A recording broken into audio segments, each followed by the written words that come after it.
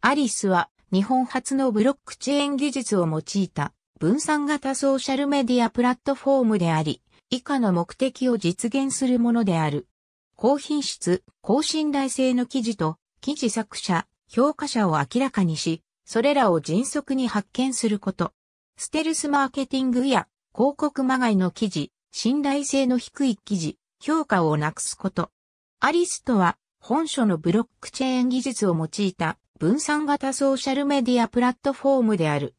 アリスでは、アリストークンという報酬をキードライバーとして従来の広告やステルスマーケティング記事を排除し、質のいい記事や信頼できる子に素早く到達できることを実現する。アリスは、ステミットとネームを参考に構築されているシステム。アリスでは一種類のアリストークンを利用した評価システムにより、高品質、高信頼性の記事と記事作者とその記事の公開初期の評価者に信頼性ポイントを提供する。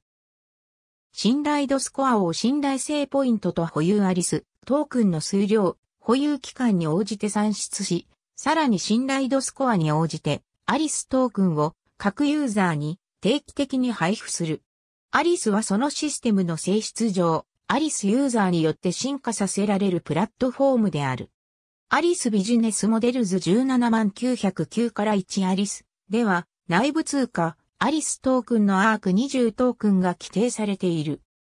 アリストークンはビットコイン等の他の暗号通貨と異なり、計算機による暗号通貨の採掘を行うのではなく、アリスソーシャルメディア上で記事を投稿、評価することにより、アリストークンが得られる仕組みとなっている。